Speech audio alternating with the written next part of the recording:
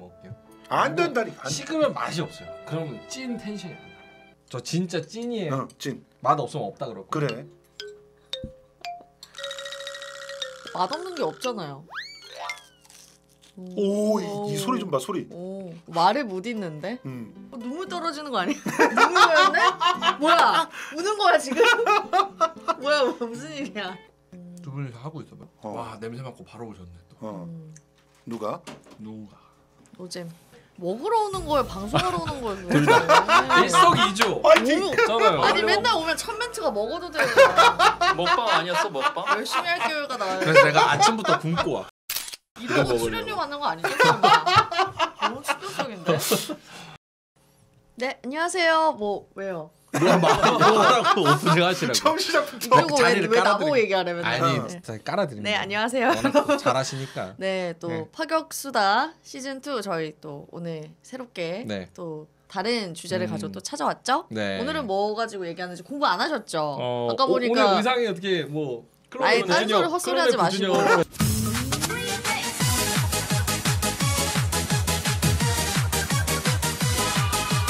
그렇지. 없어 아 빨리 여기 스케이트 나가신 거 아니에요?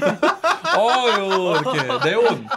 빨리 요게- 하라고 알겠으니까. 네, 알겠습니다. 어, 네. 오늘 저희가 이제 어, 지난주에 이어서 네, 네. 또 이제 드라마 음. 나라라 개천용 가지고 음, 왔습니다. 이제 맞습니다. 어, 드라마 얘기하기 전에 뭐 이렇게 간단하게 근황 근황 뭐 근황 저는 토크? 잘 음. 지내고 있고요. 네. 예. 아니 근황 보, 다 게스트 근황을 물어봐야지. 본인 근황을 얘기하면 어떡해. 뭐 다들 네, 알겠습니다. 네, 오늘 김원식 평론가 그리고 김성수 평론가 모시고 진행하도록 하겠습니다. 김원식 평론가님 어떻게 지각하니까 소감이 어떠세요?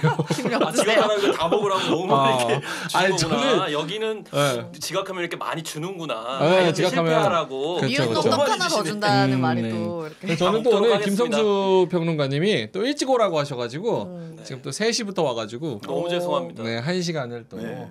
또 수다를 평소에. 늦으시니까 오늘 음. 같은 날은 빨리 와도 되잖아요. 그럼요. 예. 오늘 빨리 오고 이제 다른 날 또 늦으니까 네. 할 말이 아니 우리. 평론가님 오늘 그 무슨 발표회 그 뭐죠 세미나였나요? 아, 중요한 이게 일정이 또 예. 뭐, 뭐 청년의 미래에 대해서 예. 아. 그럼 늦어도 아 인정이죠. 그럼 두 분 모시고 갔어야 되는데 저의 아, 미래를 이거 또. 참 저만 듣기로 이렇게 하고 아. 재빨리 발표를 하도록 하겠습니다 청년의 네. 미래 MZ 세대 아니시죠 두 분은? 어떤 거요? MZ 세대 밀레니얼 Z 세대 그게 뭐죠? 아니 이 두 분 다 밀레니얼 세대예요. 아 그렇구나 네, 너무 세대는 어려보셔가지고 아직 아니고 어. 아, 딱전 MZ였으면 저는 좋았을 구 텐데 구 구자. 음. 네. 네. 앞자리만 구자잖아.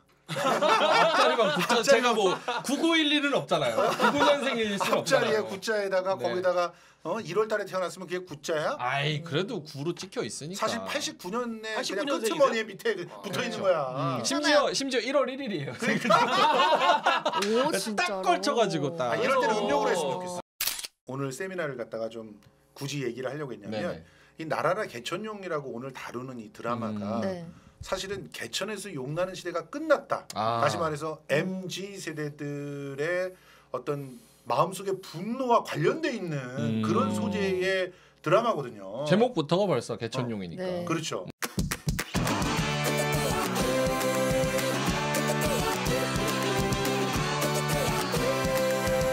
언론인 여러분, 제 제목이 뭔지 아십니까? 엄마 꿈에 기차가 나타났는데 기차가 막 달리다가 하늘을 쭉 올라갔답니다.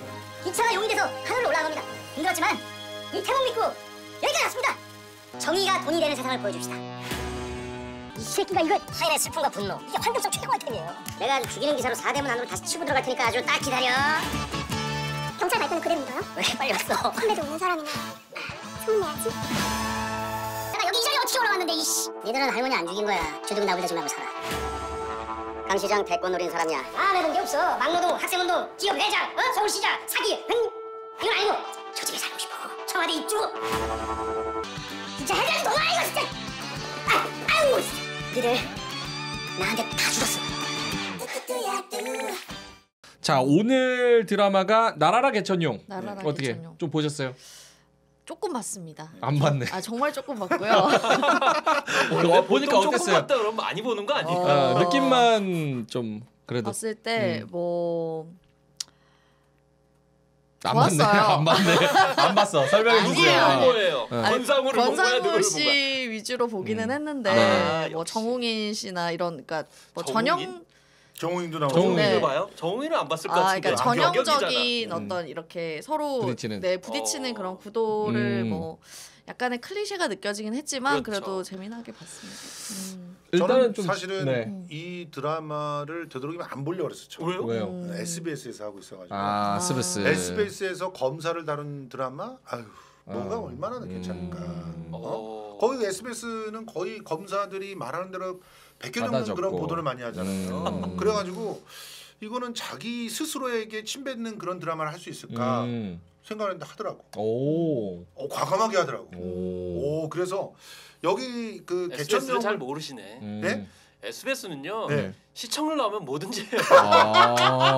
아니 어, 진짜 아 진짜 그러면 딱 그렇네. 막 윤석열 검찰총장을 막 씹는 거라도 시청률이 나오면 계속 하는 거야? 하죠. 어, 안 하잖아 지금은. 안, 하, 안 하나요? 안 하잖아요. 음. 네. 좀 있으면 또 하겠죠. 안 해. 네. 음. 약간 분위기를 보고 음. 아이 분위기가 이렇다 그러면 이제 네. 쫙 거기로 달려가겠죠. 드라마국이랑 보도국이랑 약간 뭐좀 수도 기조가 달라서 있겠지만, 그럴 수도 있을 네. 것 같아요. 그럴 수가 있죠. 근데 음. 어쨌든 이 드라마를 그래서 첫 초반에 1, 2회를 본방사수를 못했어요. 음. 어. 그런데 나중에 이제 막 사방에서 특히 내가 몰랐던 게 뭐냐면 이 드라마 각본을 쓴 사람을 몰랐던 거야. 어. 이 누구죠? 각본을 쓴 사람이 진실 탐사 그룹 셜록이라는 데의 대표 셜록. 어. 음. 박상규 기자. 음. 탐사 전문 기자예요. 음. 그래서 어 이분들이 그냥 정말 굉장히 많은 그 어, 탐사 보도를 통해 가지고 나름대로 우리 사회에 숨겨져 있던 얘기들을 많이 끄집어낸 것들이 많은데 진짜 발로 뛰는 네. 언론사죠.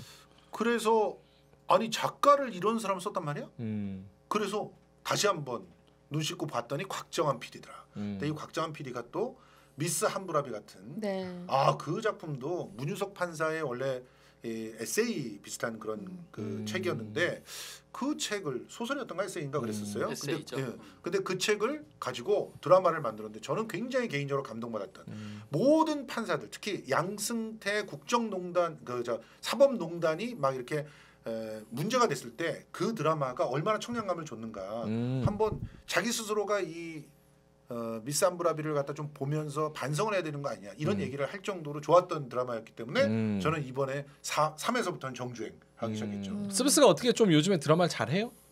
잘하진 못해요. 아, 그런데 어, 이번에 개천용은 제가 보기에는 그래도 괜찮았다. 어, 초반에 뭐 시청률이 10% 넘었잖아요. 10%? 어, 네. 네, 칠- 10% 칠- 넘었어요. 아 그래요? 음. 7 7%. 아, 아니요. 초반에 그 수도권 중심에서 꽤 그럼 높았던 뒤에 떨어졌나요? 기억해요. 음. 어, 그럼요. 지금은 한 5 정도 어, 아, 그 정도까지 그래요? 나오고 최고가 7점인가 아무래도 권상우 씨의 어떤 음. 간만에 나오는 또 불안과의 육- 육년 만에 복제적이어가지고, 또 스브스 음, 인기 김원식 평론가님 어떻게 보셨어요?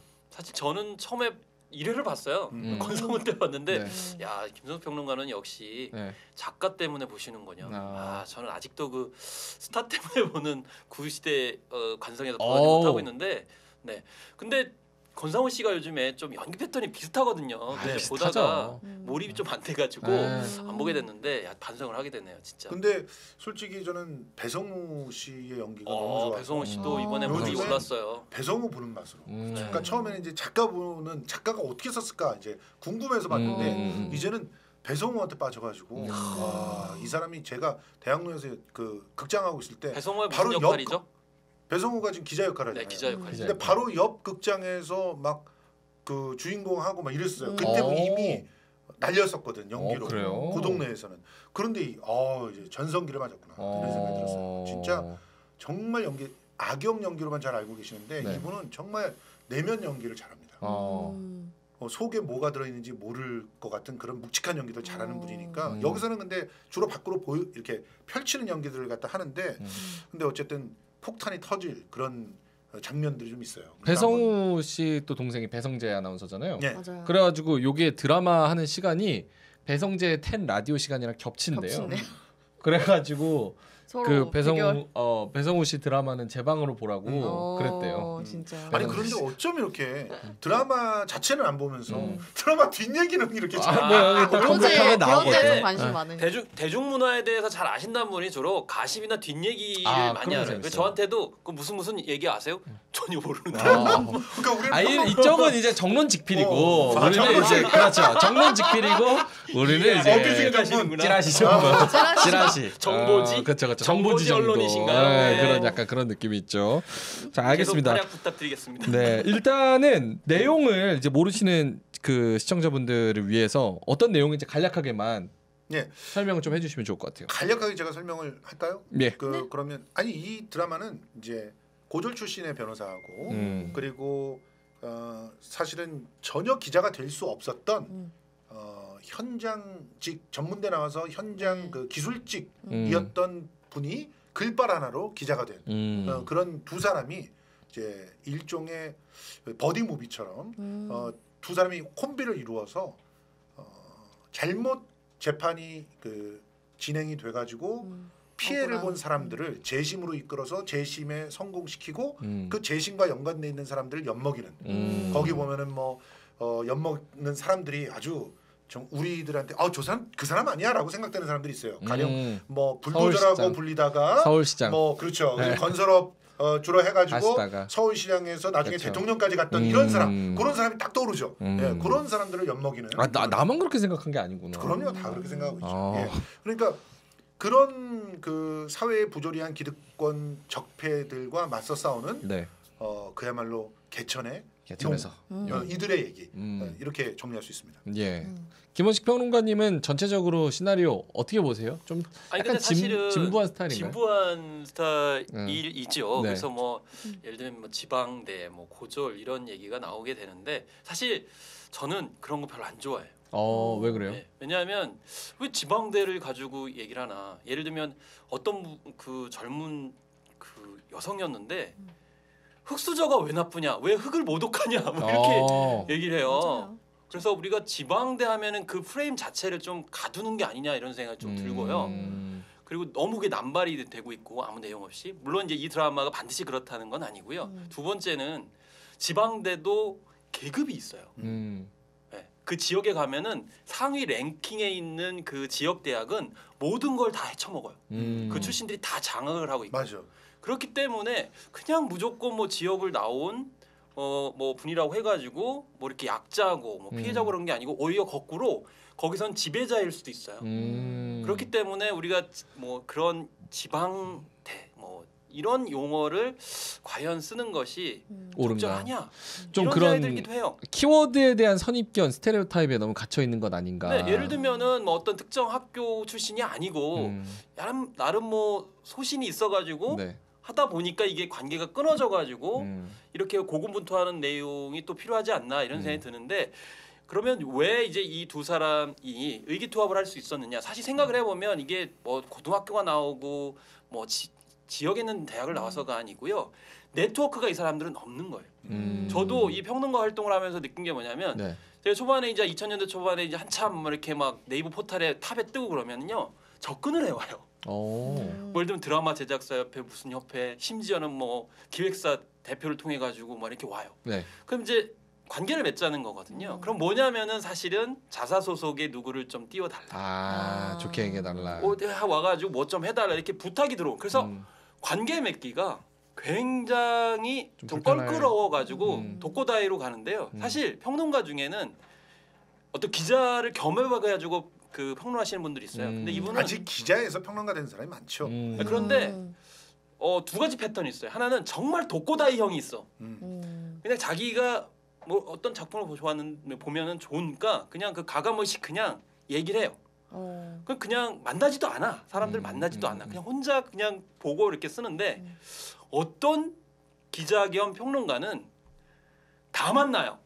아. 다 만나고 그건 관계를 약간 비즈니스형이네요. 네, 매, 맺어주고 그러면서 적당하게 저 사람 또 좋게 써주고 그러면 음. 좋게 써주면 저 사람이 또 다시 또 모르게 관계 맺고 이러면서 네트워크를 있구나. 계속 네. 불려가더라고 요. 음. 그런 사람이 잘 나가. 그렇죠. 그러니까요. 그렇겠죠. 그럴 수 김원식 수밖에 평론가는. 그렇게 오는 네트워크 다 끊어버렸거든. 그러니까 네트워크가 지금 나밖에 안 남았어. 아, 그런 슬픈 나도 슬픈 비하인드가 거예요? 나도 뭐 이렇게 오면은 뭐 이을 수 있는 그런 상황이 아니었기 때문에 음. 저 같은 경우는 저 제가 이제 하는 그 어, 공부가 제가 했던 공부가 어, 제가 나온 대학이 꽤 이렇게 뭐라고 해야 돼요? 그 기득권이 있는 대학이었어요. 음. 그래서 그, 그 대학 출신 쪽으로. 네, 그렇죠. 그 대학 출신인 것만 잘 팔고 다니면 음. 맞아. 좀, 네, 두루두루 뭔가를 할 수가 문화 있었거든. 권력자들이잖아. 문화 권력자들 많잖아 지금도. 그런데 그걸 안 했어. 어, 어. 안 했더니 나중에는 왕따가 돼 있는 거죠. 음. 그러다 맨날 김옥수 평론가랑 같이 방송하고 있고. 음. 아 근데 그게 거꾸로 제가 됐어. 여기 지금 아웃사이더 네 명이 모여서 아니야. 네. 그게 거꾸로 힘이 될 수 있다는 거예요. 이 맞아요. 드라마처럼. 아, 그렇기 때문에 두 사람이 걸리는 게 없으니까 그렇죠. 비판할 수 있지 않나 이제 음. 그 얘기를 제가 말씀을 드리려고 하는데 저는 그런 역할을 하고 있는 건 아니고요. 아. 네 그런, 그렇습니다. 그런데 우리 현실을 보면 알겠지만 제 이 드라마는 그래서 판타지가 되는 거예요. 그 그렇게 거기서 되는구나. real은 이런데 real은 이렇게 우리 이 골방에서 네. 우리 같이 이렇게 어? 안 불러주는 두 사람이 같이 하고 있는 건데 아. 그런데 이제 현실은 막 이 사람들이 막 투쟁을 해가지고 음. 서울시장인데 사실은 뭐 어마어마한 적폐의 우두머리급인 그쵸. 그런 서울시장과 싸워서 이기는 이야기가 나오니까 음. 이제 살짝 판타지다 이런 얘기들은 정의로운 기자와 정의로운 또 변호사. 국선 변호사가 둘이서 힘을 합쳐서 적폐들 네. 뭐 대법관도 나오고 검찰총장도 나오고 네. 서울시장도 나오는데 그 카르텔을 깨는 네. 그런 전체적인 내용입니다. 네, 김성수 평론가님은 주로 예. 이런 내용들을 좀 좋아하시는 것 같아요. 전 너무 좋아요. 뭔가 좋아하죠. 판타지적인. 예, 약간 판타지라도 어. 우리는 희망이 있어요 살짝. 그쵸, 그쵸. 그런 희망적인 내용. 우리가 여기에서도 희망을 못 보면 음. 그래서 제가 낭만주의를 굉장히 좋아해요. 어, 낭만주의적인 작품들을 굉장히 음. 좋아했어요. 음. 혁명적 낭만주의가 필요하다 이런 거막 음. 외치고 다니고 그랬었는데 음. 어쨌든 지금 배가 너무 고프니까 음. 네. 지금 앞에 놓여 아, 있는 그래요? 거를 잠깐 먹고 가는 시간을 가져봅시다. 이 시간만 기다렸어요. 예, 이 시간만 기다렸어요. 네. 자, 어, 오늘 우리가 선보일 제품은 성수대로 몰에서 절찬리에 팔, 판매되고 있는 그럴 수밖에 없겠어요. 마미맘 어. 통등심 치즈 돈가스입니다. 음. 성수대로 몰에 들어오시면 네. 이걸 만날 수 와. 있어요. 근데 왜 갑자기 성수대로 몰에 이렇게 가입 신청하세요 뭐 이런 거 얘기 안 하고 바로 세- 제품부터 설명드리냐? 지금 성수대로 몰에서 특별 이벤트를 하고 있어요. 오. 오, 맞아요. 지금 이 기간에 사시면 음. 여러분 그냥 재수 좋으면 선물이 하나 턱 갑니다. 어, 오. 총 30분께 네. 네. 특별 선물을 증정한다고 예. 합니다. 어. 시가로 거기에는 거의 20만 원 이상 하는 것들도 있어요. 음. 네. 그러니까 정말 잘만 고르시면 음. 잘 사시고 그러니까 기회를 여러 번 가지셔야지. 음. 한번 여러 번 사시면 여러 번뭐 5천 원짜리를 갖다 쪼개서 10개를 사 이런 얘기는 아니지만 아. 어쨌든 지금 그러시면 좋은데 딱 좋은 제품이 바로 이 치즈 돈가스라는 거죠. 치즈 돈가스 마미맘 통등심 치즈 돈가스예요. 드십시다. 드셔요. 음. 자, 요거는 제가 김원식 평론가님 오기 전에 제가 한 조각 먹었는데 치즈가 울었어요. 우와. 엄청 진짜 막 진짜 튀어 나와. 있어요 치즈가. 아니 왜 이렇게 너무 두꺼운데요? 어 치즈도 굉장히 두껍고. 지금 식었는데도 너무 맛있지. 아, 너무 맛있다. 얘 아까 뜨거울 때 먹어 배고프다고 아 참 너무 맛있어요. 음. 식어도 맛있네. 평론가님 그 소스 어때요? 소스? 아니 이게 부담이 없네요. 음. 느끼하지 않고 담백하면서 이게 음. 음. 진짜 맛있어요. 진짜. 너무 맛있다. 아, 냉동 식품 같은 느낌이 전혀 안 전혀 나요. 없어요. 네. 느끼하지도 않고요. 음. 감칠맛이 실제로- 있네 소스에. 이거 다 손으로 만든대. 아 역시 그냥 수제. 쓰다가 아니라 진짜 손으로 만들어서 음. 모양이 조금씩 달라. 아, 마지막 손으로 그러네. 이렇게 수제 했는데 돈가스 그 이렇게 모양이 다르네. 달라. 음. 이거는 드셔보시고 진짜 맛이 없으면 제가 않네. 제가 환불해 드릴게요. 어머. 진짜 음. 야 돈가스에 개성이 막 묻어나네. 너무 맛있다. 맛있죠? 자, 돼지가- 오바 돈가스가 똑같은 게거 하나도? 없는 거 아닙니까 이거? 다 다른 그렇죠. 거 아닙니까? 그리고 있잖아요. 돼지고기 자체가 충주에서 키운 돼지고기로 만드는 거예요. 거, 거기다 등심만 사용해. 그러니까 일단 고기 자체가 음. 쫄깃쫄깃하고 고소한 그 등심의 맛인데 거기 안에 이따만한 치즈가 그냥 그대로 딱 들어가 있어서 야. 처음 우리가 딱 조리를 한 다음에 바로 이렇게 자르잖아요. 치즈가 넘쳐 흘러요. 흘러. 퐁즈처럼. 흘러. 음. 진짜. 아니 이거 충주하면 사과잖아요. 예. 사과를 먹은 돼지인가요? 사과 향이 아, 나는 것 같아. 맞는 것 같아요. 달콤하죠. 아니 이게 특제 소스를 만들 때 음. 거기에 음. 아마 그런 과일 그 이 들어가는 것 과일 향이 같아요. 나는데? 그래서 그 소스 안에서 그리고 음. 치즈는 뉴질랜드산하고 국내산 1등급 치즈만 사용한다. 아. 아 역시 취지가 좀 달라 보였어. 음. 치즈가 약간 싸구렸으면 그 깊은 맞아요. 맛이 없거든요. 맞아요. 예. 그리고 치즈가 진짜 금방 딱딱해져. 음. 그래가지고 그 치즈 자체의 맛을 못 느끼는데 이거는 아 지금도 쫀득쫀득하게 지금 왜 왜 소스 얘기는 안 해요? 나 진짜 소스가 진짜 맛있는데. 소스 진짜 그러니까 소스 대- 대단한 얘기해봐요.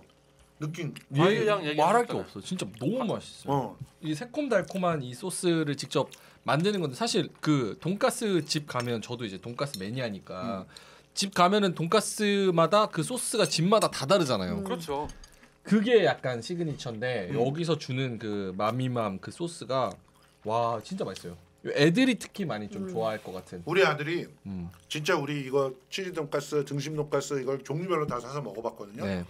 우리 아들이 소스를 잘 안 찍어 먹어요. 음. 그런데 이 집 소스는 찍어 먹는다니까. 아 진짜 오바는 아, 아이들하고도 같이 음. 먹기에 좋은 어. 돈가스군요. 애들이 정말 가족끼리. 좋아해요. 음. 새콤달콤한 게 되게 밸런스가 잘 맞는 것 같아요. 맞아요. 맛있어요, 맛있어요. 음. 근데 자. 또 지금 또 할인하고 있어요. 20%. 와. 지금 들어오시면 지금 지금. 우리가 먹은 게 봐. 자, 통등심 치즈 돈가스가 이런 팩 안에 하나에 두 개씩 들어가 있어요. 음. 그래서 이게 어 두툼하다. 진짜. 340g이야. 그러니까 한 음. 하나에 170g이야. 170g이 어느 정도냐면은 170g이면 보통 이제 정식용 돈가스 하나 정도가 170g이에요. 그렇죠. 그리고 200한 2, 30g 정도를 이제 1인분이라고 해서 주는 거야. 그러니까 음. 이게 1인분이 넘는 거죠. 340인데 두 장이 들어가 있어. 요게 다섯 팩. 음. 요게 다섯 팩이 들어가 있는데 언빌리버블. 와. 네? 가격이 예, 가격은 싸. 말씀드릴 수가 없어요, 이거를. 슬프다. 요거가 다섯 팩. 어. 야, 일단- 완전 가심비까지 뭐 대단한. 그냥 일반 그 밖에서 인터넷에서 사시면 4만 한 6천 원, 8천 원 이렇게 팔린다고 알고 있거든요. 다섯 팩에 음. 열 장이 열 장. 그것도 싸죠. 음, 그것도 싸. 음. 열 장이니까 한 4천 한 600원 한 장당 4,600원 정도밖에 안 된다는 건데 근데 할인까지 해서 만나실 수가 있습니다. 이건 삼자. 음. 음. 삼자? 아, 아 앞자리가 달라요. 예. 음. 자, 야 밥을 소스에 찍어 먹어도 너무 맛있네요. 저희 식사하러 오셨어요? 저희 거의 김밥 천국 수준. 김밥 천국 오셨어요? 벌칙 이거 아니에요? 아. 늦게 온 사람 많이 먹게. 예. 아또 점심을 안 드셨다고 하니까. 어, 소스를 자. 찍어 먹으니까 맛있네. 음. 지금 이 마미맘 수제 치즈 돈가스 그리고 또 등심 돈가스 만나보시려면요. 지금 어, 주소창에 s u n g s o o r o a d.com 네, 치면 됩니다. 그러면 성수대로 몰로 가입 신청할 수 있는 버튼이 있어요. 가입 신청 누르시면 본인 인증만 하고 그다음에 회원 가입 절차 밟으면 저한테 문자가 날라와요. 음. 승인해 드리면 이 혜택들 그대로 보시고 지금 사시면 선물까지 받으실 수 있습니다. 예. 많이 들어오시기 바랍니다. 또 이제 구글에서 음. 검색하셔도 음. 성수대로 몰에 들어올 수 있습니다. 구글 검색창에 성수대로 몰 이렇게 하고 검색을 하시면 오, 바로 홈페이지 들어오실 수 있는 링크가 뜨니까요. 그렇게도 들어오셔도 괜찮습니다.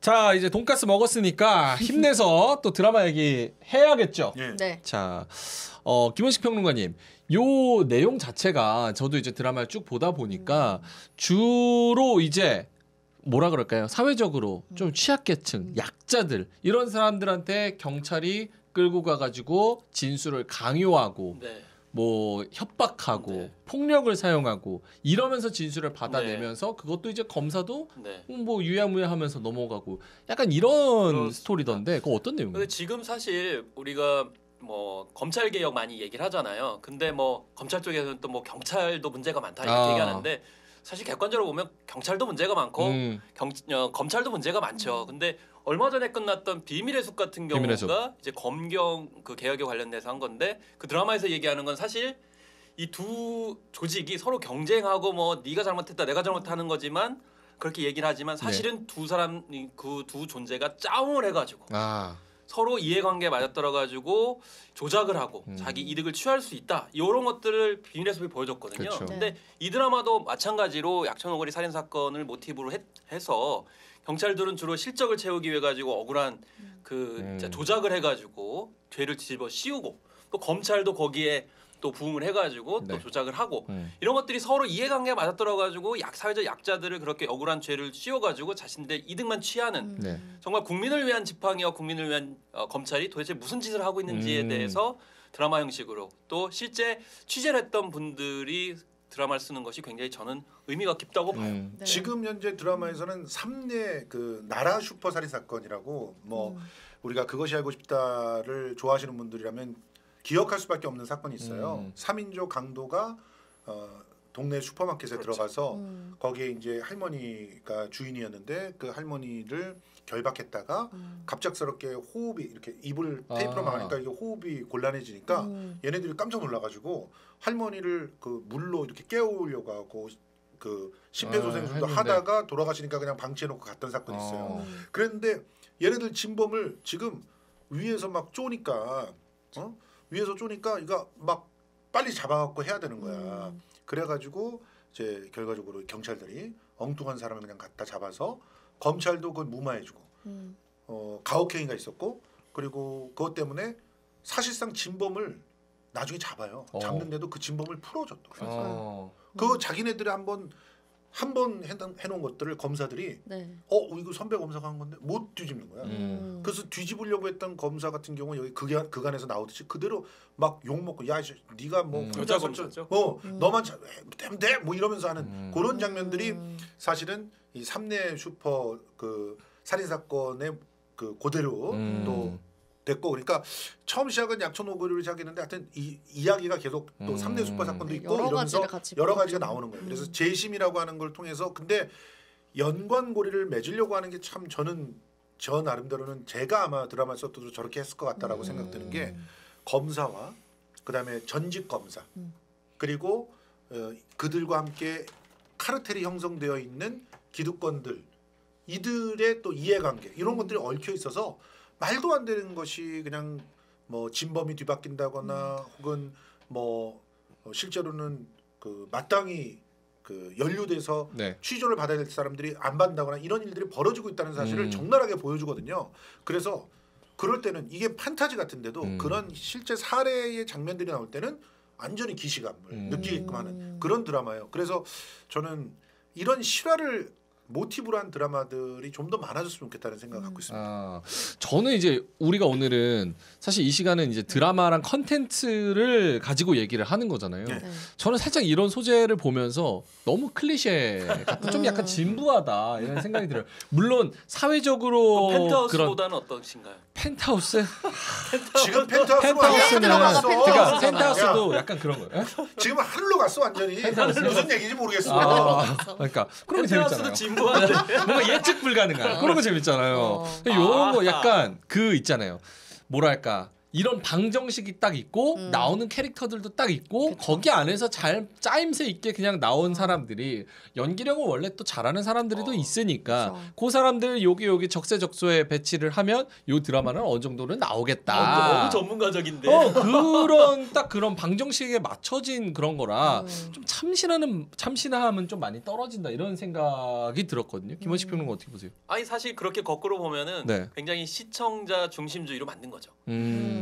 그런 내용을 좋아하는 분들한테 그쵸. 딱 맞춤식으로 음. 가장 무난하죠. 펜트하우스를 좋아하시는 분한테 어. 딱 맞춰가지고 아. 펜트하우스를 만든. 그러니까 그- 결국에는 네. 명 아나운서는 이런 장르를 싫어하는 거야. 아니 아니 조, 아, 그러니까 괜찮아요? 저도 보기는 재밌게 봤어요. 네. 근데 그러니까 저희가 이제 평론을 하는 입장에서 요게 과연 그런 컨텐츠적으로 어떤 의미가 있을까 그런 가치 평가를 좀 해 보면서 음. 약간 그런 참신함과 컨텐츠의 그런 뭐라 그래 유니크함 음. 이런 거는 좀 떨어진다. 약간 이런 생각 재밌게는 봤어요, 저도. 근데 이게 실화를 바탕으로 하고 또 여러 가지 음. 그 사건들 있었던 사건들을 이제 조합을 해서 만들어내는 스토리다 보니까 어쩔 수 없이 우리가 많이 보고 들었던 음. 어디서 접해봤고 막 분노도 해봤고 했던 것들이라서 음. 결론은 또 진짜 현실처럼 마무리 지을 수는 음. 없잖아요. 뭐 미제 사건으로 그쵸. 놓을 수도 없는 거고 아니면은 진짜 누가 봐도 억울한 상태로 또- 권선징악을 해야지 또 이제 그래야 또 방정식에- 뭔가 드라마 같고 아, 끝난 거 같고 하다. 보니까 음. 그런 걸 위해서는 그 클리셰라든지 음. 그게 빠질 수는 없는 것 같아요. 처음 약간 네. 조금 그쵸? 저는 이제 음. 뭐 명아나운서가 그 컨텐츠가 너무 클리셰하고 진부하다. 네. 음. 아, 저도 이제 어느 정도 그 동의를 해요. 음, 네네. 저도. 네. 그런데 이제 드라마를 만들 때 그러면 조작을 한 놈들은 나쁜 놈이다 그러면서 분노를 냈었고 음. 이제 그런 형태의 단순 로직인데 저는 한편으로는 그렇게 조작을 하고 심지어는 뭐 김소수 평론가가 말씀하신 것처럼 진범을 놔줬어요. 그랬을 때에 국민들한테 그게 어떤 식으로 음. 영향이 올까를 보여주는 것도 전 중요하다고 봐요. 뭐냐면 음. 전 이춘재 말씀을 드릴게요. 네. 화성 연쇄 살인 사건이 있었는데 사실 이 초기에 잡을 수 있었어요. 음. 그러니까. 근데 어쨌든 다 대신 그 이상한 사람, 그 이상한 사람이 무고한 사람을 사실상 잡았었잖아요. 네. 그러다 보니까 이춘재가 괴물이 된 거예요. 그러니까 그렇죠. 사실은 이게 그 연쇄살인범은 뭐 사이코패스 이런 유형도 있을 수 있지만 처음에 살인을 해가지고 잡혀야 되거든요. 음. 그렇죠. 이게 안 잡히니까 계속 괴물이 돼가지고 나중에 자기도 통제할 수 없는 음. 형태의 네. 정말 악마가 되는 건데 그렇죠. 그러면 결국 똑바로 조작을 하지 않고 잡았다 그러면 이춘재는 그런 괴물이 되지 않았을 거예요. 희생자도 없었어. 희생자도 더 없을 그렇죠. 거고. 그러니까 경찰하고 검찰이 너무 당장의 실적 압박 때문에 아니면 말씀하신 것처럼 왜 검사 어, 경, 이제 공동체잖아요. 그것 때문에 어, 진범까지 풀어주고 그러면 이 사람이 악마가 돼가지고 결국에는 그 국민들 혹은 더 약자들을 더 해할 수 있는 그 전체적인 인과고리 음. 후폭풍 그것들 보여줬다고 그러면 더 경각심을 가질 거예요. 근데 음. 말씀하신 것처럼 그 진실 파기 요게만 좀 어, 한정돼서 좀 음. 아쉽다는 생각은 저는 하긴 음. 했어요. 아니 근데 네. 그거는 아직까지 판단하기는 너무 이르다고 봐요. 이르다? 지금 네. 이제 와서 뭐 5화 6화 이렇게 육화. 나오고 있는데 그건 16부작이죠. 그 음. 어렵다고 보고 저는 지금 굉장히 좋은 그 CR들이 음. 막 잘하고 있다고 저는 생각하거든요. 음. 이게 어떤 여러 시야인지 좀 예를 들어서 이런 거죠. 그 지금 이 드라마에서 보면은 어 저는 이 드라마가 자꾸 그 우리의 현실을 바탕으로 하지만 기본적으로 그 판타직한 그런 식의 표현들을 쓰는 이유가 있다고 생각이 들어요. 어, 음. 어떤 이유? 그거는 뭐냐면 이거를 그냥 우리 지금 주변에 벌어지고 있는 그런 하나의 사례를 복귀하는 걸로 보고 싶어 하지 않은 거예요. 음. 곽정환 PD가 하는 드라마들 보면 대부분 좀 그렇다고 봐요. 음. 그러니까 우리 주변에 있는 현실 그 자체 하나를 놓고 탐구하는 게 아니야. 음. 실제로는 다큐멘터리적이지 않다. 예, 다큐멘터리적이지 않아. 실제로는 그걸 놓고 지금 우리 사회의 어떤 그 지금 얼개, 그림 이런 것들을 막 폭로하고 싶어하는 것 같아요. 어. 어, 이 메커니즘이 어떻게 돌아가나? 아, 이 메커니즘이 어떻게 그렇죠. 돌아가는지를 예. 구체적으로 보여주는데 초점을 더 맞추고 그래서 있다. 임 각각의 캐릭터들은 사실은 굉장히 상징적인 아. 캐릭- 그러니까 실제 존재하는 인물이라기보다 네. 예를 들어 서울시장 음. 같은 경우는 누가 봐도 이명박을 떠올릴 수 있게끔 음. 그렇게 해놔요. 음. 그런데 여러분 보세요. 이명박이라고 하는 사람이 서울시장에서 그쳤다면 혹은 서울시장이 안 됐더라면 그 수많은 나라 돈을 갖다 헤쳐먹고 강을 갖다 다 저렇게 망가뜨려 놓고 할 수 있었겠습니까? 못 하잖아요. 그러면 그 전에 BBK를 갖다 제대로 수사를 했어야 돼 윤석열이가. 근데 수- 수사를 제대로 안 해가지고 이 괴물을 만들어놨잖아. 어, 그렇잖아. 그걸 연상할 수 있게. 하는군요. 그러니까 그거를 그 폭풍을. 바로 이 구도 안에서 음. 스스로 그 찾아가게 만드는 그런 부분들이 있어요. 음. 그래서 일부러 인물을 갖다 설정할 때도 좀 과한 클리셰들 같이 느껴져도 그 클리셰를 엮어서 자 여러 이런 인물이 이런 위치에서 혹은 과거에 어떤 인물을 연상할 수 있는 인물이 이 안에 놓이게 되면 이런 일을 합니다. 음. 그러니까 일종의 롤 플레이야. 그것도 게임하는 것 같은. 못 알아듣는 시청자가 있을 수도 있어서 되게 친절하게 한 맞아요. 번 더 풀어서 설명을 해요. 아, 음. 그렇죠. 음. 예, 그게 좀 그러니까- 아쉽다. 음. 아, 아이고, 그러니까 아쉽다. 어떤 분한테는 네. 이게 잘 짜여져 있는 예를 들어 CSI 같은 음. 그런 드라마들 보면은 아. 치밀하게 네. 단서들 찾아가다가 그 단서들을 엮어가지고 추리를 하고 어라 내가 이렇게 추리했는데 저거는 저쪽으로 가네 이러면서 흥미진진하게 그 보는 사람과 작가와 음. 또 제작진들이 두뇌 게임을 하면서 보잖아요. 그렇죠. 이건 그렇게 보라는 게 아니야. 음. 이거는 어떤 면에서- 면에서는 결이 다르네. 우리 나라는 이런 구조가 돼 있고 그래서 이런 대상들을 어떻게 사회적인 합의에 의해서 그 뭐 해체를 하면 해체고 또 정리를 하면 정, 정리를 할 것인가 음. 그걸 얘기하려고 하다 보니까 좀 뻔한 구도들 음. 뭐 우리가 각 잡는다고 그러- 그러기도 하잖아요 음. 각이 잡혀 있는 것들 이런 것들을 좀 보여주려고 하는 거 아닌가 음. 그런 판단에서 본다면 나름대로 이 드라마는 굉장히 쉽게 그 검찰 개혁이라든가 뭐 혹은 사법 개혁이라든가 또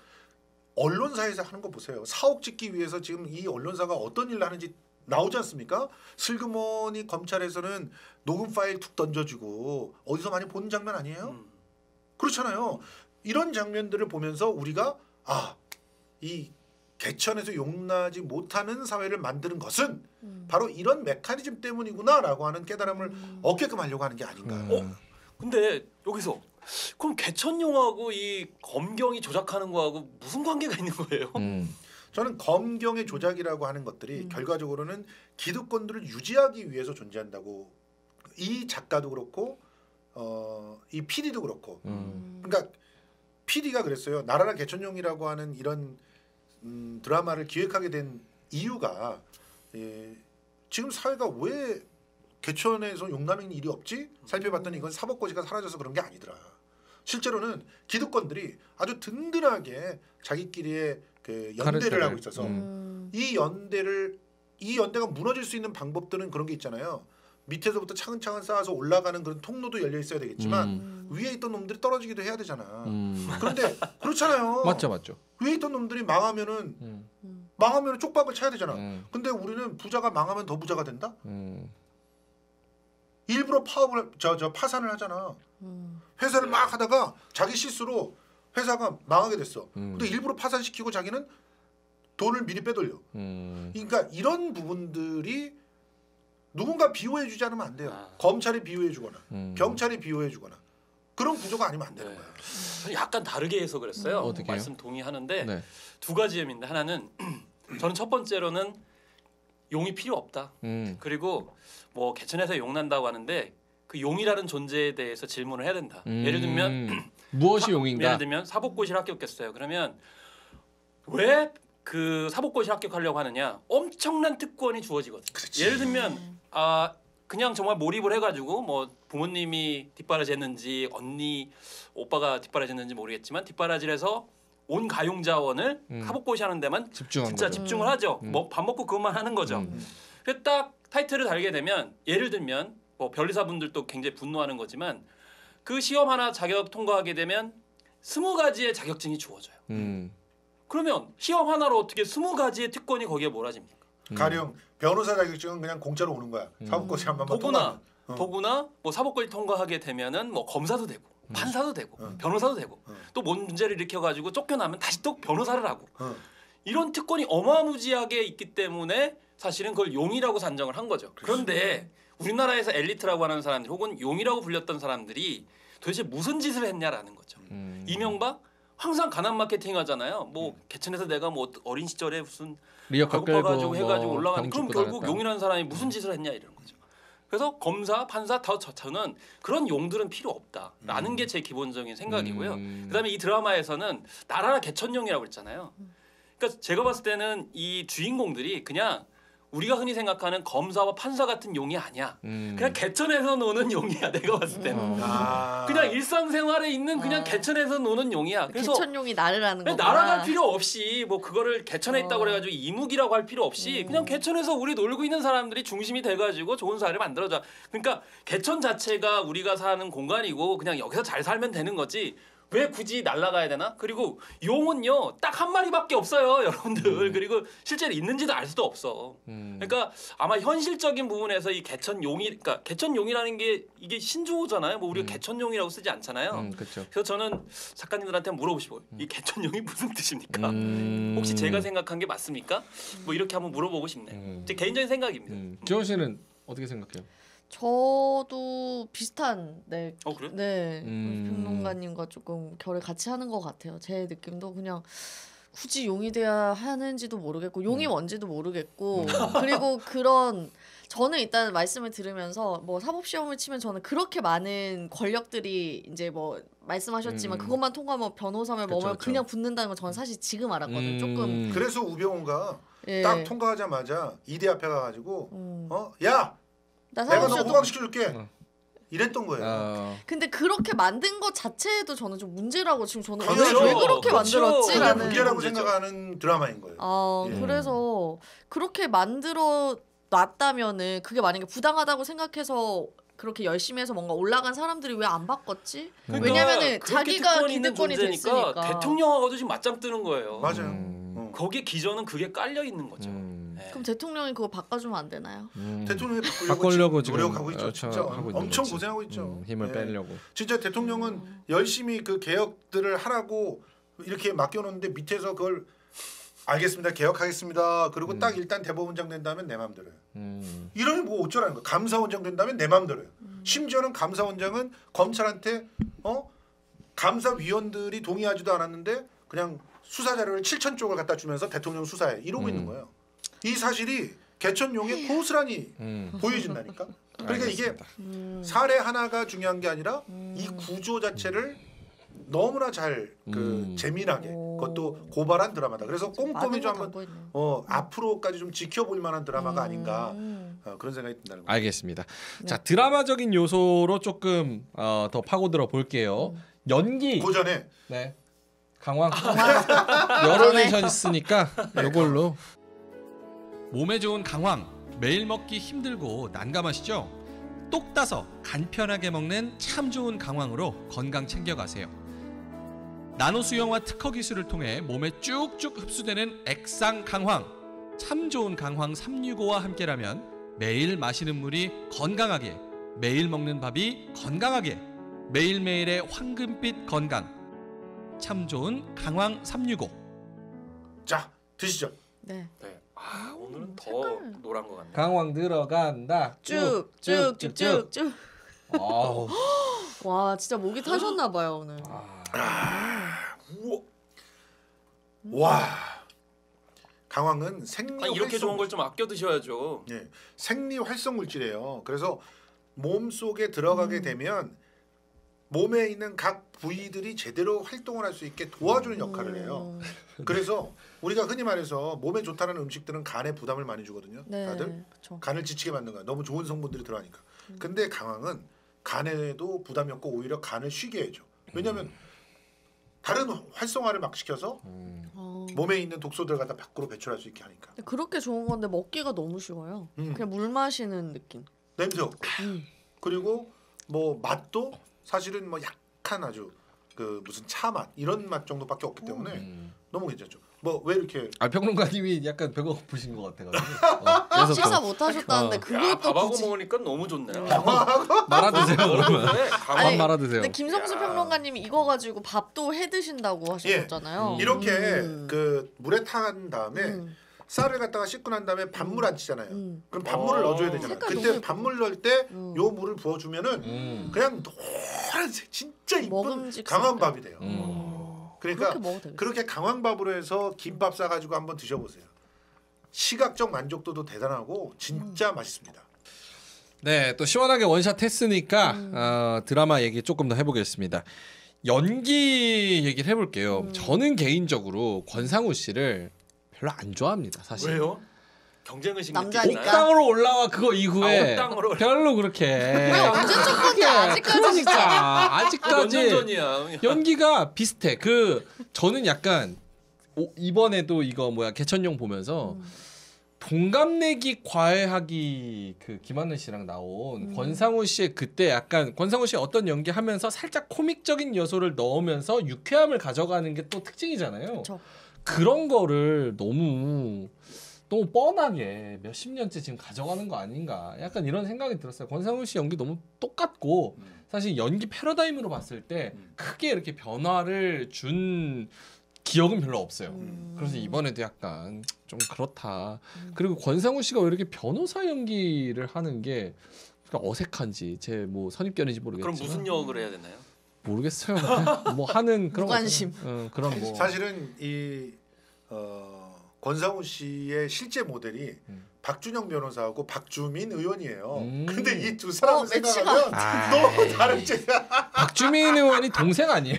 어? 권상우 씨보다 동생일 아, 거예요. 진짜로. 네, 그리고. 박준영 의, 그 변호사도 음. 보면은 너무 좀 서민적인 그런 음. 느낌의 변호사잖아요.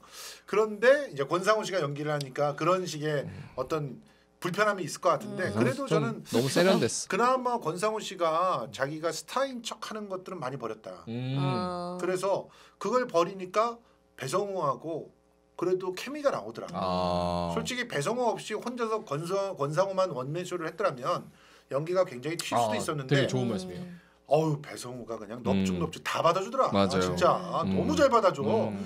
나도. 진짜 배성우랑 같이 연기하면 잘하는 것처럼 보일 것 같아. 어 저도요. 뭐라고요? 개그는 아닌 것 같아. 아저 아니에요. 아, 저- 저- 살살 아, 끼세요. 저 숟가락 숟가락 얹으려고 그래. 살살 껴. 어, 숟가락 얹으려고 그랬는데. 어쨌든 뭐 이두 사람의 케미 자체는 좋아서 음. 나름대로는 그 볼맛은 있더라 음. 그런 생각이 들고 진짜 드라마를 보면서 유일하게 뭔가 뭐라 그럴까요? 그러니까 매력적으로 느껴지는 그 포인트들이 권상우 씨랑 배성우 씨랑 뭔가 이렇게 케미가 터질 때, 음. 그 연기를 보는 맛이 딱 매력이 터지더라고요. 맞습니다. 네. 그리고 조연급 연기들이 기가 막혀 장난이 아니에요. 조연급. 음. 지금 그렇죠. 갑수형님도 나오죠. 아 갑수형님 나오죠. 김갑수님 아또 오랜만에 악역. 음. 이 사람이 악역하면 진짜 아, 묵직하죠. 무서워서 잠을 못 음, 자거든요. 묵직하게. 전 어. 검찰총장으로 나오죠. 예, 어. 근데 전 검찰총장으로 나오니까 네. 지금 현직 검찰총장이 전 검찰총장이 되면 어떻게 될까 음. 하는 게 딱 그려져. 음. 그냥 음. 그러면서 미래가 보이고 있기도 하고 음. 이제 그런 것들도 보이기도 하고 또 조성아 그리고- 배우님도 나오시고. 아 조성아 또 아주 또, 또 정웅인 배우님 나오시고. 네. 정웅인 야비하기로는 이를 데 음. 없죠. 아, 기가 실제로 막히죠. 삼내 슈퍼 있죠. 삼내 네. 슈퍼 사건의 변저 검사가 음. 나중에 그 진범이 아닌데 고생했던 사람들 있죠. 네. 이 사람들하고 박준영 변호사하고 고소합니다. 음. 명예훼손으로. 아 너무 자, 이, 너무 그렇지 않습니까? 그렇죠. 와. 쓰레기죠. 쓰레기죠, 진짜. 적반하장도 최모, 유분수지. 최모 변호사님, 예 그렇게 살지 마세요. 음. 예. 알겠습니다. 이름은 참 영- 얘기를 영상. 편지까지. 예. 아 얘기하면 그러니까, 좀 그렇죠. 예, 다 그런- 나와 있습니다. 그런 것들을 이렇게 연기로 음. 정웅인 씨 음. 같은 경우도 참 잘 풀어내고 있, 있어서 음. 조연들의 연기는 그야말로 그리고 곽철용 아저씨. 아. 곽철용. 곽철용 아저씨, 김응수 배우님. 예. 와. 또 아무꾸 따블로 가. 아, 오, 비슷해요. 뭘, 뭘 했다고. 오. 네. 아 근데 연기 되게 잘하세요. 예. 그 뭐라 그러지? 약간 얄밉게 음. 딱 그렇게 코믹하면서도 얄미우면서도 약간 그렇게 나오는데 그것도 연기 되게 잘하시는 진짜. 예. 좋은 배우분들 많이 나오시는 것 같아요. 음. 맞습니다. 김원식 평론가님은 어떻게 보셨어요? 연기. 네, 아니 전적으로 동의하고요. 네. 그다음에 권상우 씨가 요즘에 사실은 그 탐정 시리즈 영화에 많이 출연했어요. 맞아요. 그쵸. 최근에도 영화에도 예, 나오셨어요. 그래서 주로 예전처럼 이렇게 뭐, 야, 뭐 멋있는 척하고 이렇게 음. 일종의 뭐 이렇게 폼 잡고 이런 걸 안 하니까 오히려 살아난다는 느낌이 들고 음. 이 영화 아이 드라마에서도 뭐 변호사고 그래가지고 뭐 이렇게 멋있는 척하지 않고 음. 또 망가질 땐 망가지고 이런 것들이 참 좋다고 생각이 들고요. 그 다음에 저는 요즘에 악역 배우 아까 말씀하셨잖아요 김갑수부터 이제 김웅수 씨까지 음. 그런 분들이 있기 때문에 이 드라마가 저는 가능하다고 그쵸. 봐요. 음. 맞아요. 정말 옛날 같으면은 악역이라고 하면 되게 안 하려고 했잖아요. 음. 음. 내가 이제 각인이 되고 음. 그런데 많이 지금 대중적으로 그런 것들이 부식돼 가지고. 오히려 악역을 그럴 듯하게 혹은 현실감 있게 할수록 음. 인기가 더 많아지는 그쵸. 현상 그렇죠. 이런 것도 뭐 드라마를 통해서 좀 알 수가 있지 않나 아니, 그런 점이 이번 뭐- 기회를 통해서 진짜 꼭 말씀드리고 싶은 게 네. 악역을 한다고 악인은 아니거든요. 그렇죠. 어 그렇죠. 그렇죠. 이 김갑수 시- 선배 같은 경우도 제가 대학로에서 그 소극장 그 운영하고 그럴 때 소극장 협회라고 하는 것에 이사를 했었어요. 음. 근데 그때 이사장님으로 모셨는데 아, 네. 이분 진짜 사석에서는 굉장히 너무 웃겨요. 착한 사람이에요. 음. 재밌고 어 진짜 딱 보면 어, 이런 카리스마를 도대체 아니 배우는 도대체 어떻게 하는 거지 할 어. 정도로 음. 너무 그야말로 찐 형, 음. 어. 정말 동네 형 같은. 찐 동네 아저씨 음. 이런 분이에요. 음. 그런데 이분이 악역을 할 때마다 너무 잘하니까 네. 뭐 동네에 갔을 때 막 얼굴을 이렇게 마주치면 막 숨고 뭐 이런 사람들 생긴대잖아. 음. 절대 그런 분 아니라는 거. 음. 예, 진짜 잘하시는 연기입니다. 아, 그렇습니다. 저는 이제 한 마디 더 거들면 정말 착하시기 때문에 저는 악역들을 다 하신다고 생각이 들어요. 왜냐하면 음. 아무도 그 역할을 하지 않으려고 해요. 그런데 음. 우리가 사회의 어떤 부조리한 면이라든지 모습을 드러내기 위해서는 정말 악역을 제대로 절대적으로 해줄 분이 필요한 거고 네. 아무도 안 하려고 하니까 이런 착하신 김갑수 형님 같은 분들이 맡아주기 때문에 뭐 연극이든 뮤지컬이든 네. 드라마든 영화든 잘 산다. 그래서 음. 그 공헌을 인정해준다고 생각해요. 갑수 형님은 처음 유명해질 때부터 악역이어가지고 그러니까 아니 뭐 태백산맥 영화에서도 근데 네. 외모가 그렇게 예. 막 악인의 느낌은 안 풍기는데. 예전에는 좀 풍겼어요. 아 진짜요. 음. 아, 그러셨구나. 그때 연극 어, 하면서 음. 힘들어서 그런지 몰라도 음. 굉장히 그때는 있- 있었죠 카리스마, 악인의 카리스마가. 음. 와 진짜 그 태백산맥에서 김갑수 씨는 때려주고 싶었죠. 염상구. 어, 염상구로 나왔을 때. 그렇지만 어, 음. 전혀 그런 분이 아니다 음. 말씀을 드리고 싶고. 또 여주인공으로 나오는 김주현 배우님. 음, 어 너무 뭐 거의 이상형이시라며. 제가요? 예. 무슨 이상형이에요. 그냥 아, 아름다우시다 아니, 처음에 그랬지. 3시에 왔을 때부터 김주현 씨 거만 꺼내놓고 그냥 아. 계속 보면서 아이, 어, 그거는- 형 너무 아름답지 않아요? 에이. 지원이 아니고 난 대본을 공부한 전 거지. 그렇게 저를 매도하면 어떡합니까? 대본 공부하는데 왜 다른 사람들은 아- 얼굴 안 보고 왜? 김주현 씨만. 찍어? 그 사람은 보이는데 어떻게? 그러면 제가 너만 보인다. 어. 보이는데 어떡해? 어, 보이는데 팬심인데? 어떡해요. 아, 사심이 잔뜩 들어가 있어. 어 너무 진짜. 원상으로 폄하하고 음. 아, 폄하 폄하요? 아, 연기에 대한 평가를 한 거죠. 이분은 근데 연기는 솔직히 좀 아쉬워요. 솔직하게 말하면. 그러니까 유일하게 연기입니까 발음입니까? 둘 다죠. 아 발음도 그렇고 연기도 그렇고 너무 어색한 측면이 좀 있는 것 같아가지고 뭐 아니, 근데 비주얼은 그럼에도 불구하고 텔레비에 나오잖아요. 네. 그럼 여성 팬심으로서 어떻게 돼야지? 어, 관심 없죠? 매력이 그래도 있는 거 아니에요? 어 그럼요. 오. 왜냐면 그리고 외모적인 면에 음. 있어서 그 이미지적인 게 맞으면은 사실 음. 다른 것들은 좀 부수 모르겠어요. 좀 부수적으로 고쳐 나갈 수 있는 부분이다 음. 보니까 뭐 그렇게 본인 그러니까. 이미지는 뭐예요? 본인 이미지. 저요? 네. 저의 이미지 뭘까요? 다볼 거예요. 아, 댓글로 달아주세요. 댓글로 다 댓글로 봅니다. 달아주세요. 좋은 아니, 댓글로. 아무튼 그 저는 뭐 가능성은 충분한 배우다라고 음. 생각을 하고 어, 이 여자 기자 역이 굉장히 어려운 역이거든요. 음. 정의의 기자가 돼야 돼.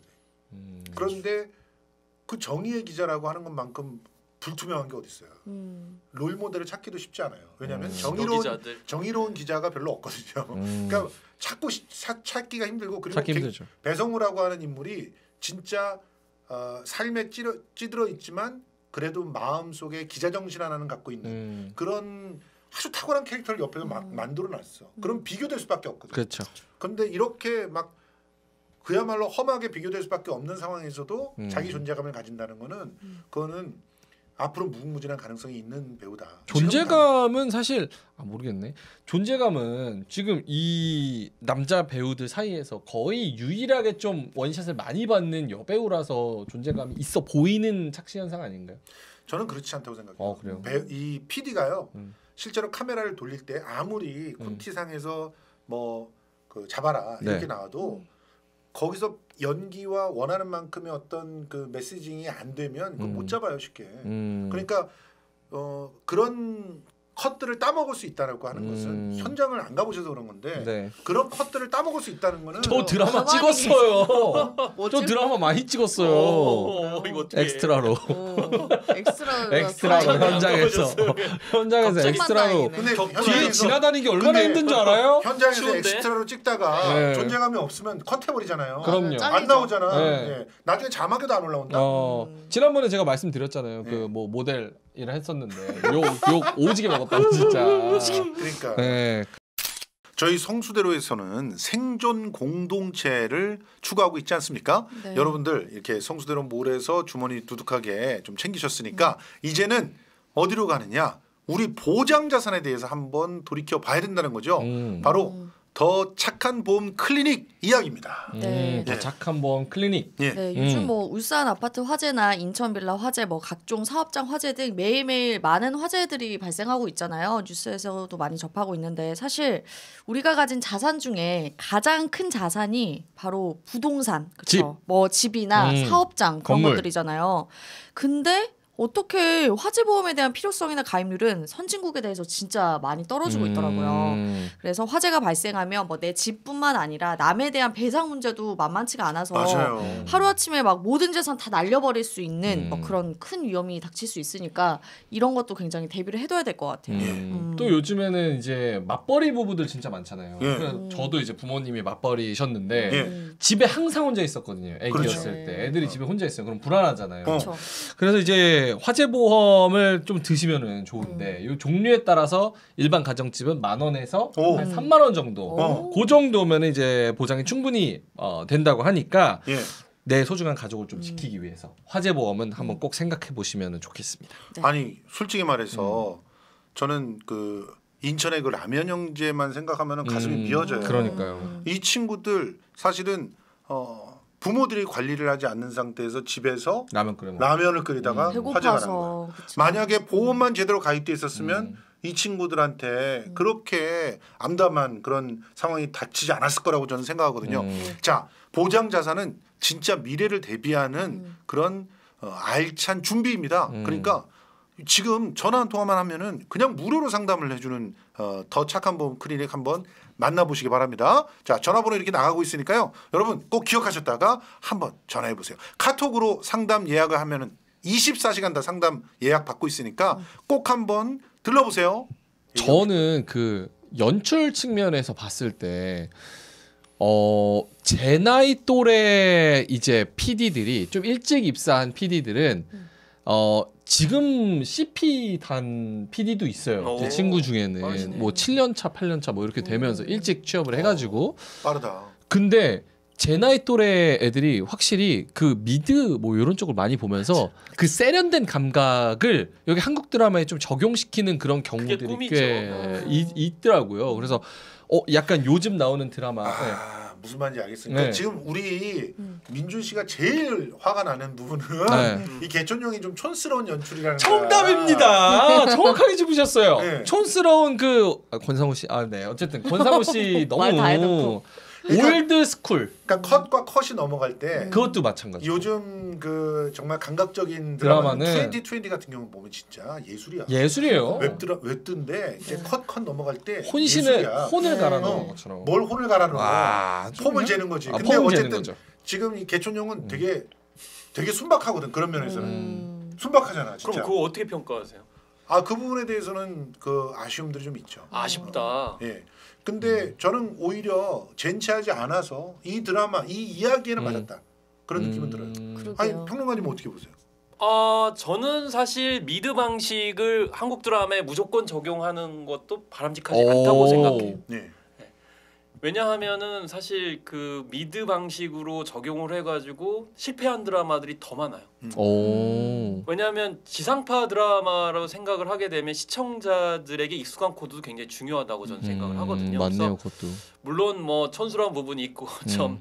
technical한 부분에 있어 좀 미흡한 점이 있지만 무조건 뭐 미드 방식이 정답이다. 정답이다. 저는 그렇게 생각하지는 음. 않아요. 솔직히 아, 그러니까 뭐 스토리가 탄탄하고 이런 거는 사실 기본기적인 측면이어서 음. 그런 거를 얘기를 하는 건 아니고 예를 들어서 저는 이런 거예요. 그러니까 사회 비판적이거나 아니면 이런 behind를 실질적으로 뭔가 리얼하게 까는 음. 그런 드라마들이 있을 수 있는데 예를 들어서 미국의 뭐 하우스 오브 카즈 같은 경우는 음.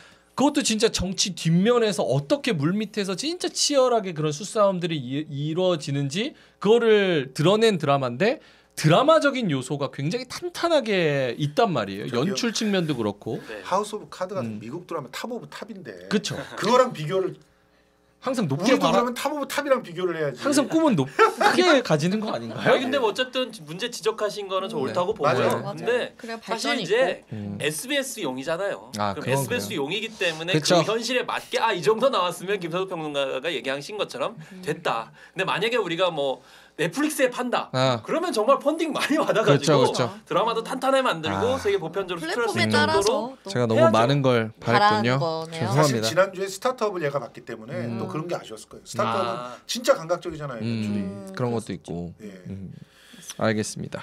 예. 자 마무리. 마무리. 하죠 네. 자 그러면 오늘 아, 나라라 개천용 가지고 이야기를 해봤는데 마지막으로 우리 결론 어, 한 마디씩 하면서 마무리하도록 하죠. 김원식 평론가님. 음. 저는 개천에서 용나는 건 필요 없다. 개천에서 잘 살자. 음. 개천을 맑게 만들고 공평하게 나눠서 잘 살자. 그두 평론가. 사람 그냥 건너뛰십니까? 아, 안 저- 건넜어요 이렇게. 네. 그리고 왔다 갔다. 이렇게 왔다 간다고? 그럼 네. 그럼요. 예.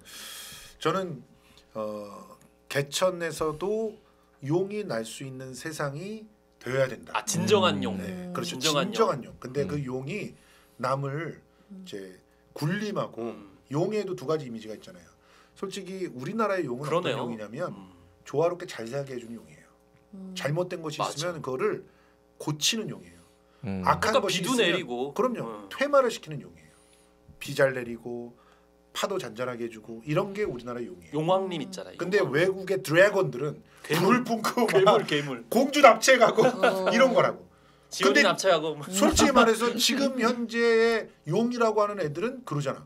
지 갖고 있는 권력으로 갑질하잖아. 음. 그런 어, 이 외구식 용이 사라지고 아 그러면 서양식 용에서 우리 전통 용으로 와야 되는 건가요? 음. 뭐 굳이 얘기하자면 그러니까 외구식 용이 사라지고 어. 예, 그 한국적 용이 이제 다 될 수 있는 그런 음. 세상이 됐으면 좋겠다. 음. 그러기 위한 드라마다. 음. 그리고 박상규 작가님 한번 꼭 출연 좀 해주세요. 아, 저희는 항상? 열려 있습니다. 방송? 열려 있습니다. 자 예, 지원 씨는 명민준 씨, 네. 뭐. 민준 씨부터. 저요. 네. 아 권상우 씨는 좀 이렇게 연기의 스펙트럼 좀 넓혀 보시기를. 연기 집착. 야 권상우 지금 뭐 할말 말 많으시면 나오시면 돼요. 여기 저 언제 아 언제나 열려 있습니다. 어. 안 오겠는데. 게스트로 네. 초대할 테니까 언제나 오세요. 그러면 김주현 씨한테 그렇게 얘기해야지. 김지현 씨도 꼭 와주세요. 음. 김지현 씨를 더 원하고 있어요. 사랑해. 표정이 달라. 사랑하세요. 편파 방송이야. 뭘 편방송이에요. 네. 저는 뭐. 그냥 간편하게 그냥 음. 개천용 힘내자. 너무 대충 한 거 아니에요? 아니에요. 힘내야 되는 이 아. 이 드라마에 대한 얘기를 하는 게 개천용 아니라 힘내자. 파이팅. 네. 아, 네, 알겠습니다. 음. 자, 오늘도 이제 문화 컨텐츠에 대한 이야기 해봤습니다. 오늘도 이제 드라마를 한번 다뤄봤고요. 나라라 개천요 연기, 연출부터 이제 전체적인 내용까지 한번 아, 본격적으로 얘기를 해봤습니다. 저 다음 주에도 이제 또 해야 되는데 네. 드라마 이제 말고 좀 다른 거 예. 해보죠. 아 근데 드라마 보기가 힘들어요. 좀 괜찮은 영화 이런 거 없어요? 그리고 음. 다음 주쯤에 김원식 평론가님 네. 다음 주쯤에 혹시 그 미국에서 좋은 소식이 날아오지 않을까요? 넷플릭스에서 어, 뭐 예. 투자를 아니, 하나요? 아니요 아니요 방탄소년단이 네. 네, 방탄소년단 이제? 그래미를 좀 발표. 그래미 아, 그래미. 그거, 그거. 아마 다음 주쯤 음. 발표가 될 텐데 음. 그렇죠? 그렇죠. 20 후보작을 발표할 즈음이 됐고 예. 이번 주 금요일에 이제 방탄소년단이 앨범을 그에 맞춰가지고 이제 음. 출시를 하죠. 네. 그 얘기 그렇기 하겠네. 때문에 지금 빅 이번 이벤트가 금요일 날 방탄소년단 앨범이 나오면 다음 주는 무조건 아, BTS로 그렇죠, 해야 그렇죠. 되지 다음 않을까? 무조건 그런 BTS 상황입니다. 어, 음. 영화를 해도 저희 뭐 지나간 영화 해도 되지 않아요? 그러죠. 지나간 어. 영화면 어느 하고 싶은 거 정도 있으면 지나. 뭐 좋은 영화 있으면 네. 뭐 다시 짚어보는 왜냐면 요즘에 영화가에서도 이렇게 재개봉도 많이 하고 음, 하니까 맞아요. 지나간 영화를 보는 것도 나쁘지 알겠습니다. 않을 것 같습니다. 아름다운 청년 전태일 이런 거요? 음, 네네 뭐 그런 것도 괜찮고 네. 좋은 것 알겠습니다. 같습니다. 자, 네, 뭐 오늘도 저희 이렇게 재밌게 또 얘기 나눠봤고요. 음. 개천용이라는 단어에 대해서 어, 다시 한번 곱씹어보는 또 곱씹어보는 그런 계기가 시간이 됐어요. 됐던 것 같아서 또 굉장히 유익하게 음. 재밌게 잘 들어봤습니다. 네 다음, 주에도 주에 네, 또 재밌는 파격적인 파격적이어야 되나요, 꼭 그럼요 파격적으로 저희가 토론 또 배틀 토론 배틀 저희 싸워야 재밌어요. 네, 아주 네. 불꽃 튀기게 한번 해보도록 네 하겠습니다. 알겠습니다. 많이 다음 와주세요, 주에 여러분. 네 찾아뵙겠습니다. 안녕히 계세요.